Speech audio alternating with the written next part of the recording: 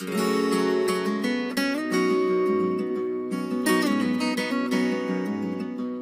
move on to the Retirement Savers Tax Credit. The tax code permits qualified low and middle income taxpayers to receive a non refundable credit for contributions to eligible retirement plans. Tax professionals often refer to this simply as the Savers Credit. Because such contributions are already tax deferred, this is one of the very few situations where a taxpayer can take a double benefit for the same expenditure.